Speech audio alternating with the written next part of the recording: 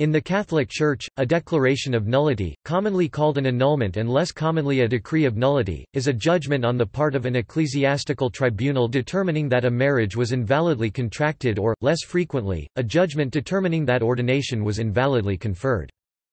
A matrimonial nullity trial, governed by canon law, is a judicial process whereby a canonical tribunal determines whether the marriage was void at its inception ab initio. A declaration of nullity is not the dissolution of an existing marriage as is a dispensation from a marriage ratum sed non consummatum and an annulment in civil law, but rather a determination that consent was never validly exchanged due to a failure to meet the requirements to enter validly into matrimony and thus a marriage never existed. The Catholic Church teaches that, in a true marriage, one man and one woman become one flesh before the eyes of God. Various impediments can render a person unable to validly contract a marriage. Besides impediments, marriage consent can be rendered null due to invalidating factors such as simulation or deceit, or to psychological incapacity. For this reason or for other reasons that render the marriage null and void the Church, after an examination of the situation by the competent ecclesiastical tribunal, can declare the nullity of a marriage, i.e., that the marriage never existed. In this case the contracting parties are free to marry, provided the natural obligations of a previous union are discharged. In 2015, the process for declaring matrimonial nullity was amended by the Matrimonial Nullity Trial Reforms of Pope Francis, the broadest reforms to matrimonial nullity law in 300 years. Prior to the reforms, a declaration of nullity could only be effective if it had been so declared by two tribunals at different levels of jurisdiction. If the lower courts first and second instance were not in agreement, the case went automatically to the Roman Rota for final decision one way or another. Topic: Reasons for nullity.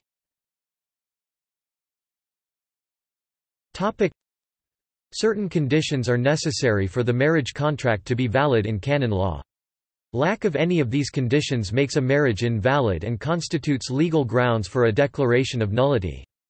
Accordingly, apart from the question of diriment impediments dealt with below, there is a fourfold classification of contractual defects, defect of form, defect of contract, defect of willingness, defect of capacity. For annulment, proof is required of the existence of one of these defects, since canon law presumes all marriages are valid until proven otherwise. Defect of form, if the marriage ceremony is invalid e.g. two Catholic persons being married outside of the Catholic Church, Defect of contract, if it was not a marriage that was contracted, such as if there was a defect of intent on either side. This can occur if either party lacked the intent to enter into a lifelong, exclusive union, open to reproduction. In the Church's understanding, the marriage contract can only be between a woman and a man.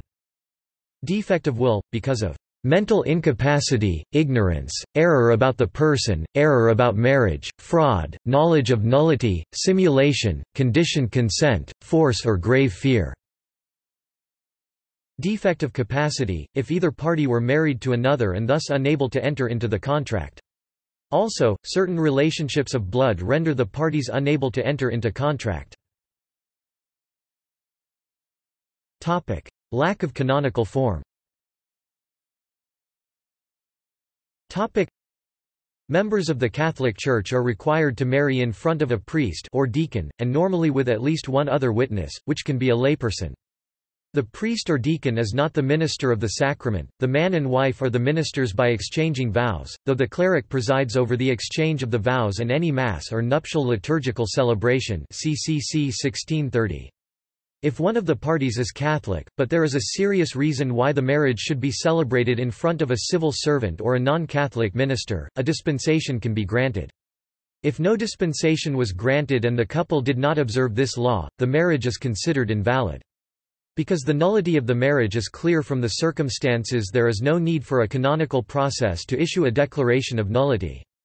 The correction of this invalidity requires the couple to exchange their consent according to canonical form commonly called convalidation. Topic: Impediments.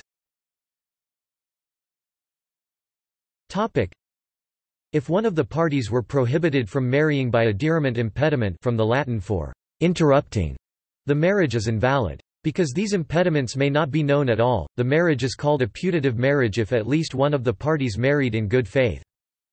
Diriment impediments include one or both parties is below the absolute minimum age of 16 for males and 14 for females.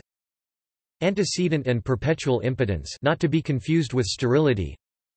Ligamen, or being already married.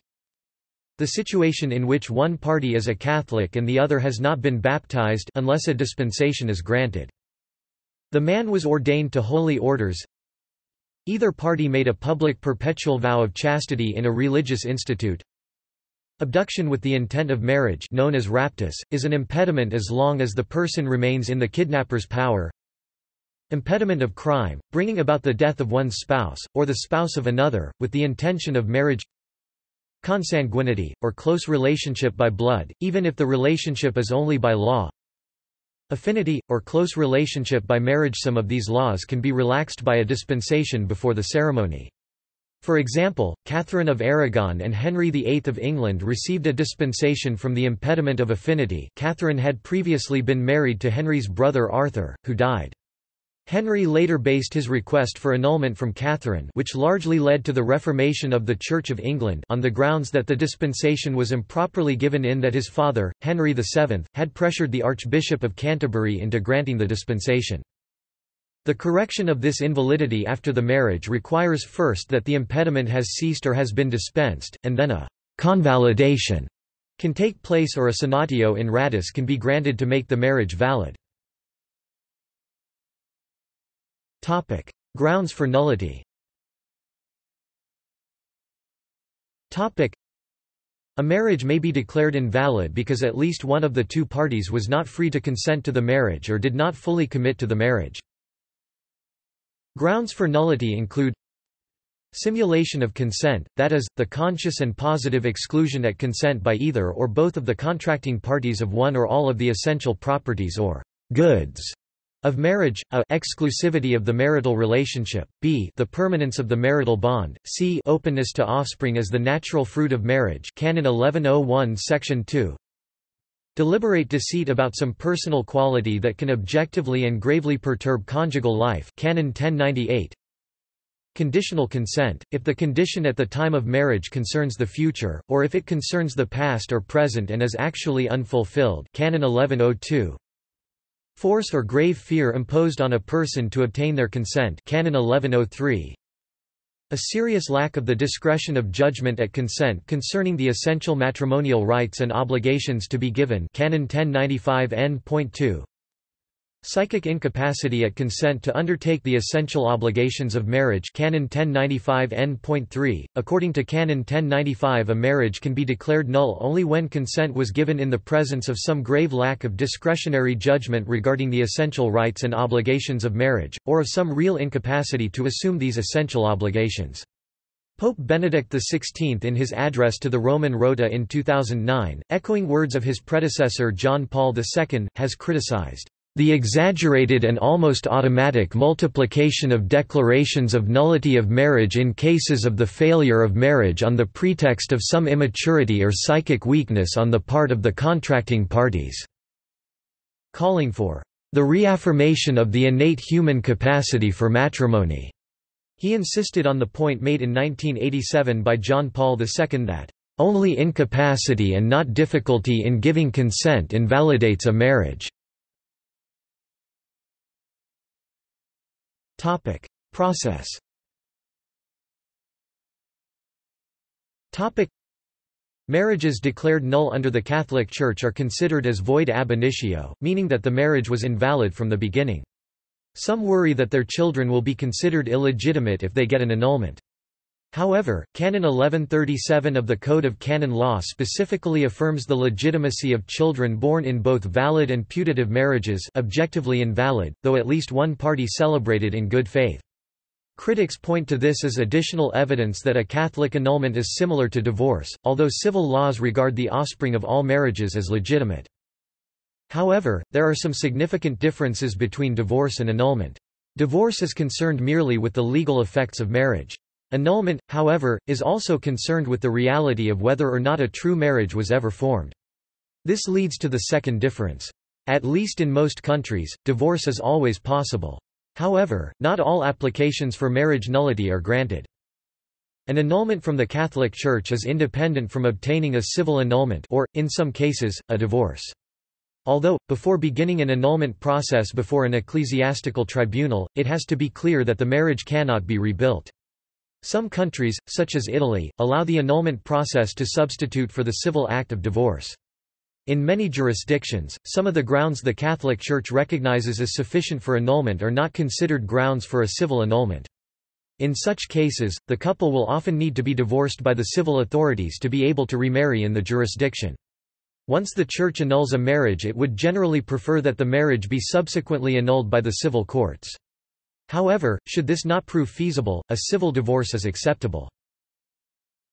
If someone has been married previously and the first spouse is still alive, he or she must have received a declaration of nullity before entering into a marriage in the Catholic Church, even if neither party in the marriage was Catholic privilege of faith being separate cases. The Catholic Church treats as indissoluble and valid every marriage when it is the first marriage for both parties. However, the Church does not recognize as valid a marriage when one of the parties is Catholic but the marriage was not celebrated before a Catholic priest unless a dispensation was first obtained. Canon law presumes that all marriages are valid until proven otherwise. Annulment respondents who want to use canon law to defend their marriage against declarations of invalidity have the right to have a competent advocate assisting them. An advocate is like a lawyer.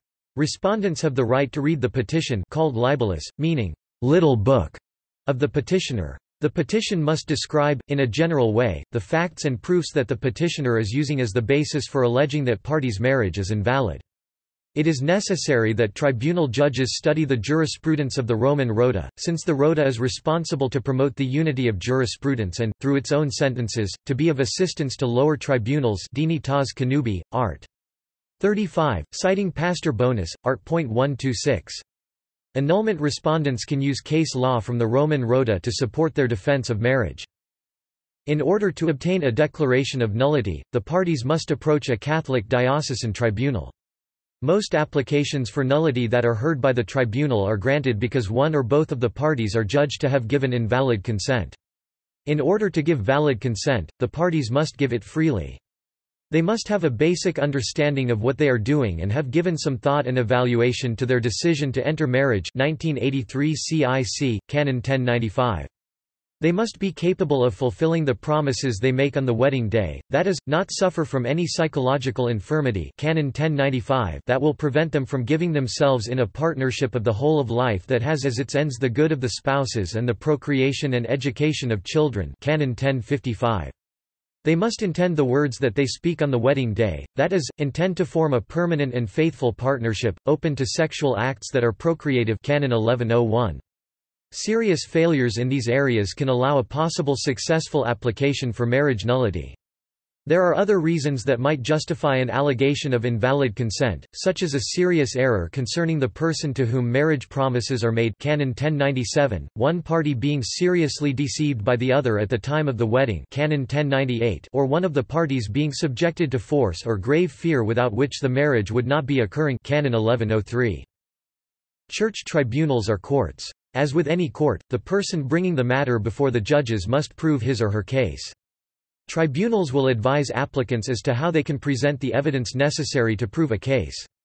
Approximately 94% of petitions filed in the United States are granted, and although the United States has only 6% of the world's Catholics, it accounts for 60% of the annulments granted worldwide, leading by McFarland to suggest that the Church cooperates with the evil of no-fault divorce. Pope John Paul II expressed concern over the relative ease with which an annulment can be obtained in the United States. The tribunal judges are tasked with distinguishing those unions that were flawed from the outset from those valid marriages that have broken down. Topic: Numbers.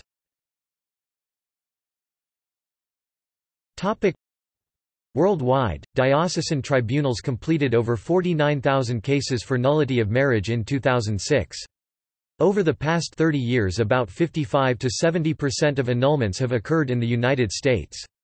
The growth in annulments has been substantial. In the United States, 27,000 marriages were declared null in 2006, compared to 338 in 1968.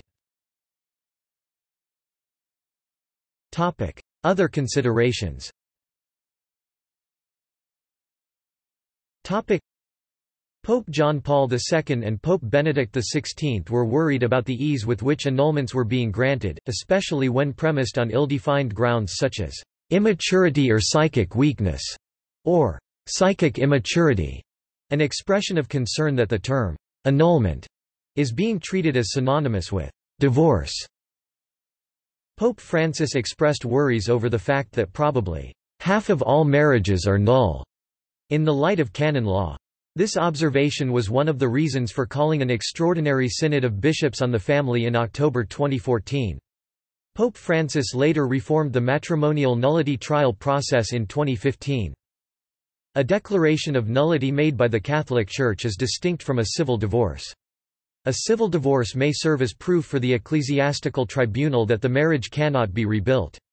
In some countries, such as Italy, in which Catholic Church marriages are automatically transcribed to the civil records, a church declaration of nullity may be granted the exequatur and treated as the equivalent of a civil divorce. Catholic view of Eastern Orthodox process.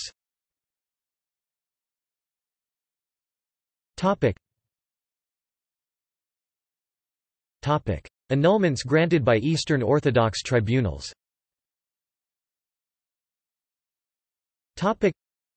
the Code of Canons of the Eastern Churches CCEO, the body of Oriental canon law for the Eastern Catholic Churches, in Canon 780 follows the Second Vatican Council's teaching that the tribunals of the Eastern Orthodox Churches have a valid annulment process to declare a marriage null.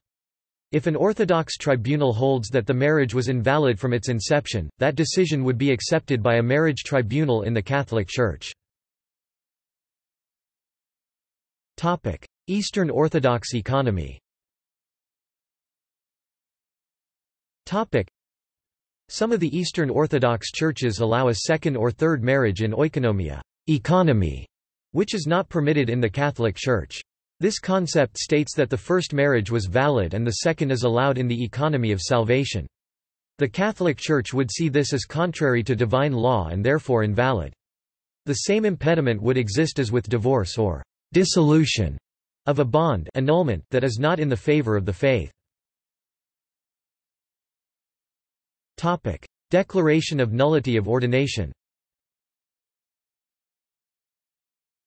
Topic: The term declaration of nullity can also apply to cases in which ordinations are invalidly conferred. Topic: Notable Catholic annulments.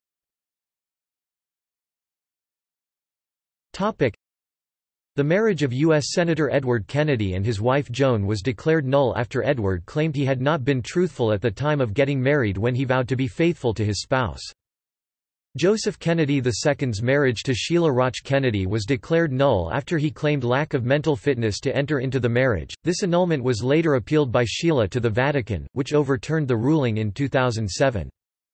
Eadwig, King of the English, has his marriage to Elfgifu, declared null on grounds that they were too closely related. Louis VII of France and Eleanor of Aquitaine had their marriage declared null by a papal court in 1152 as they were distant cousins, after the birth of two daughters and despite a proclamation by Pope Eugene III in 1149 that no word could be spoken against their marriage and that it might not be dissolved under any pretext, each would go on to marry closer cousins. See also. Topic. Catholic doctrine regarding the Ten Commandments. Topic. References. Topic